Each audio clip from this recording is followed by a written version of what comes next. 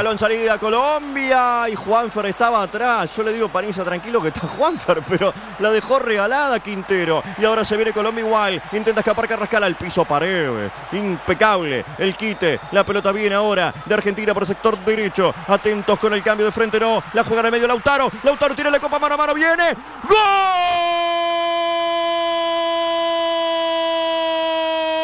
El toro.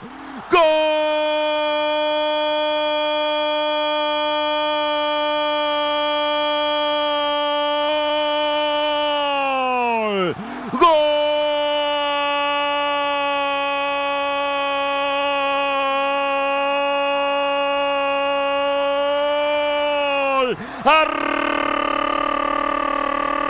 Argentino, el toro, el toro de Bahía Blanca, el toro Lautaro Martínez, Lautaro Martínez, el autor del gol que le puede dar la copa a la Argentina, un kit excepcional de paredes, en la mitad de la cancha hay una bocha profunda, la pelota vino Lautaro, que entró como cuña entre los zagueros y no perdonó ante la salida de Camilo Vargas, Argentina en el segundo chico del suplementario, le da un sorbo la decimosexta, el toro de Bahía En tierra de basquetbolistas, el futbolista más importante de Argentina en este momento se llama Lautaro, se apellida Martínez y por él gritan 45 millones, Argentina tiene uno, Colombia cero. Excepcional quite de paredes en mitad de cancha. El pase para Lautaro que pivoteó y fue a buscar la pared. Lo Chelso con un pase mágico para habilitarlo a Lautaro Martínez. Quedó de cara al gol y el goleador de la Copa América no falló. Le reventó el arco al golero colombiano y Argentina muy cerca de sumar una nueva Copa América. Lautaro Martínez el gol. Viví la emoción del fútbol en tuya y mía por el espectador. Bueno, Y o va a ver la jugada o le...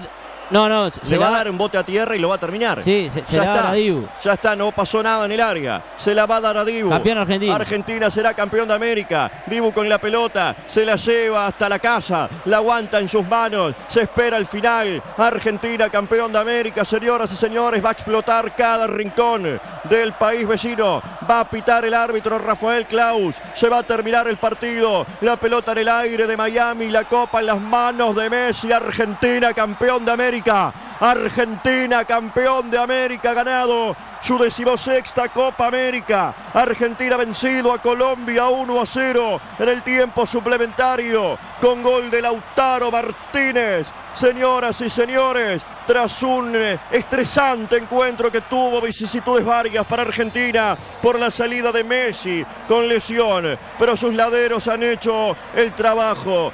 Quédate tranquilo, Messi, que la ganamos nosotros. Parecen haberle dicho y Lautaro Martínez cumplió la profecía. No falló en el momento indicado y en la que tuvo la mandó a guardar. Argentina ha ganado la Copa América. Ha dado la prueba ante el equipo que mejor ha jugado, pero al que no ha tenido los pergaminos suficientes para confirmarlo en un momento clave como este. Colombia no ha dado la talla desde lo anímico para mi gusto y por eso quizás explique en gran parte que no se haya quedado con una copa que en gran parte creían ganado de antemano. Y esto es así, es más viejo que la historia misma del deporte, no solo del fútbol. Argentina campeón, después vendrán valoraciones de otro tipo, si el camino fue más sencillo, si la copa estaba armada para que esto sucediera, pero en definitiva poco va a importar y la historia recordará que Argentina se ha quedado en una final con este título de campeón, con la salida de Messi, con el fin de ciclo de Di María y con una era que empezará en otro momento. Argentina campeón de América. Señoras, señores, salud a los 45 millones de argentinos desde Ushuaia hasta La Quiaca, desde eh, Entre Ríos a Mendoza, desde la Patagonia hasta el Chaco. Argentina es un solo festejo en la madrugada de lunes. Argentina campeón de América. Y Argentina se corona como el equipo más ganador de Copas Américas y hoy se establece como el segundo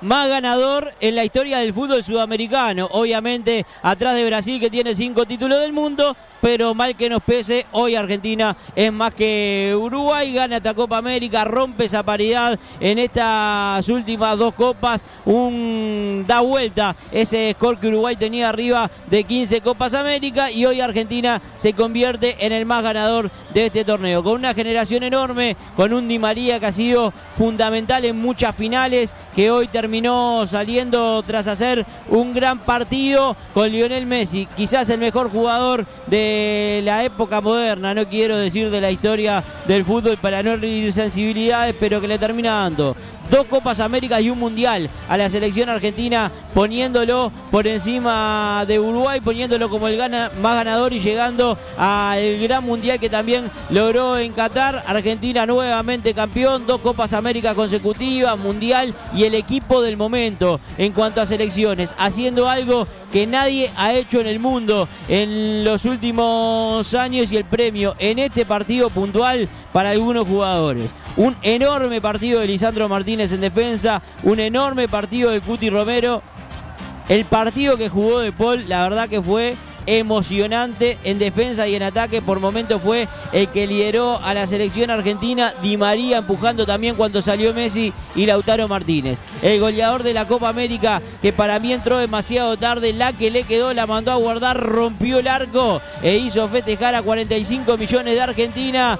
Un nuevo título, la 16, está en la Albi Celeste, en la AFA y Colombia por algo sigue siendo